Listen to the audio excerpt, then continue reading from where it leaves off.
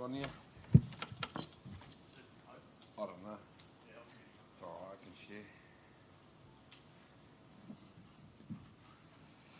share.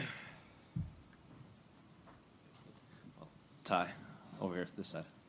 Uh, I feel like when they announced this card was coming to Sydney, you seem to be the name that everyone assumed would be near the top of this card. So I guess what does it feel like now that you're only a few days away from fighting and you you might have the biggest pop of the entire night, The biggest what? the biggest ovation.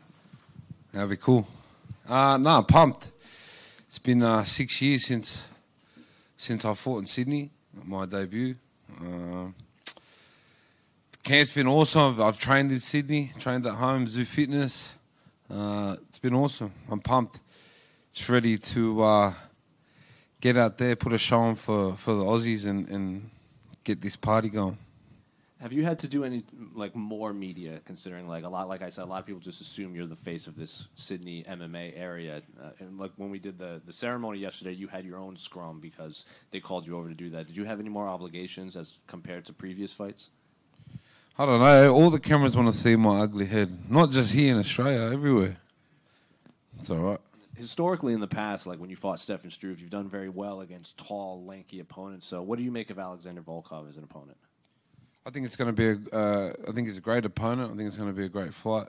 Uh, obviously, everyone knows how big he is, and uh, I don't think uh, he's going to do too well me on his chest and coming forward. So there ain't really much game plan. Get in there, fucking smack on, and then we after party. Will your family be in attendance? My family will be there. Ty, you uh, grew the hair out for this one, unless you've cut it and you're hiding it from us. But uh, do you feel like that's going to give you some extra powers in the cage on Sunday? No, I haven't fought for a long time, so I'm broke. I just need some money to get a haircut. I'm sure someone who sees this can help you out. Well, hopefully Sunday, and then Monday I might get a haircut. Ty over here. Uh, this week, there's been a lot of um, stuff online, the cameras following you around, talking about what it means not to just be back in Sydney, but also kind of so close to Western Sydney. What does it mean to be fighting on such a like such a high level card, so close to, to where you grew up? Yeah, means a lot. It's uh, it's gonna be awesome. It means good. Fucking mad.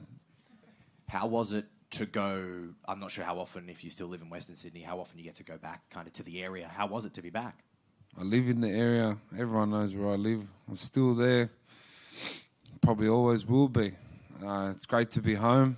Good to be doing, uh, you know, daddy things with my son, and it's, it's, it's. I feel refreshed. I feel good. You know, usually by now I'm like, fuck this, let's just fight. But I feel good. I feel really good. Thank you very much. Ty, just a question here. Um, what does it mean to you um, to be fighting on the same card as such a close friend and business partner in Tyson Pedro? Yeah, it's been a long time, me and Tice, uh, to fight in the card together. Uh, you know, he's like family. He's family. Uh, and uh, all our family's going to be there supporting, so it's going to be awesome. Just Um, like old times. Um, you usually fight um, two to three times a year. You're a very active fighter. Um, this is the first time that we'll be seeing you for 2023. Was there any particular reason um, why you hadn't taken a, or hadn't fought any earlier? I needed a break. the last Russian crushed my face in. so uh, had to have a bit of time off. Uh, I, I, I miss my family. I miss home. I'm a, I'm from. I'm not from much, you know. So family and and the area means a lot to me. So I needed home. I needed to go home. So I went home. I feel good now, and I'm fucking ready to roll. Last one from me. Um, after the fight with Pavlovich, is it sort of weighing on you, or, or an, an, air, an, uh, an air of importance um, to put a dominant performance um, over Alexander Volkov this weekend to sort of Oh, definitely. I've my last two fights, I've I've got into hiding, so I'm coming out with. Uh, I'm coming out for heads. Just down the front here, Ty. Um, you said before that you, your, your game plan is just go in and, and, and box on there. Um, what sort of what do you see in terms of the future after this fight? Where do you think you're planning on going?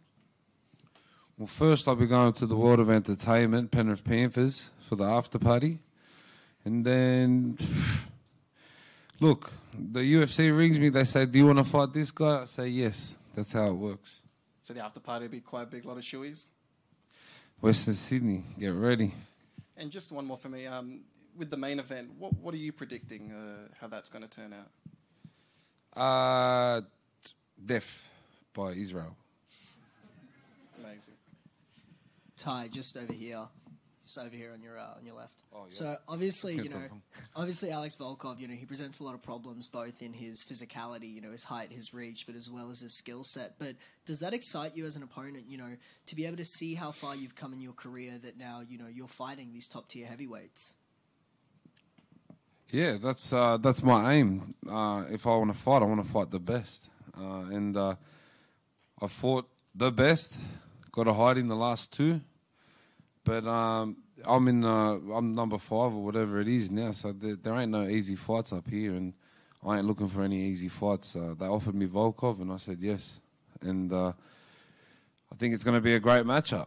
Uh, if it's not going to be boring, we're not going to fucking be cuddling each other the whole 25 minutes or whatever it is. Oh, how many? I was about to say that's fuck, that's ages. Well, f- five minutes, the whole five minutes, you know. So sure. And look, last one from me. You know, your career got off to a really, you know, explosive and quick start, you know, some dominant finishes and a lot of fights back to back. Do you think that period where you sort of step back and slowed down a bit, you know, when you got that work in with DC over at AKA, do you think that that was sort of crucial for the development of your career to just be able to step back, slow down, and focus on developing a little bit?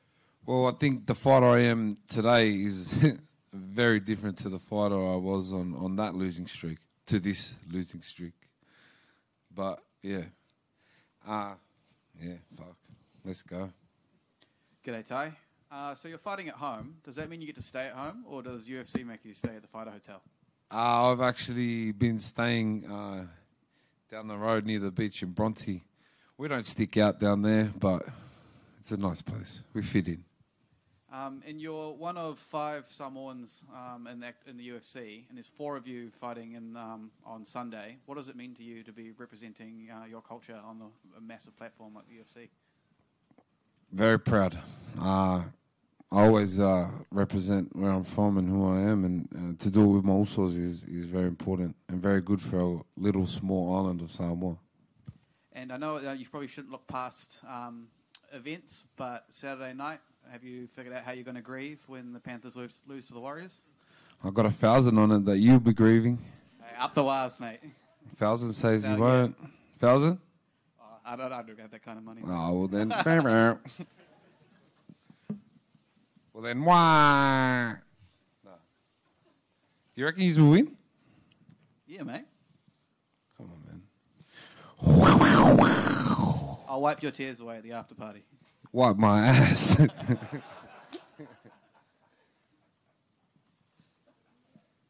Thank you.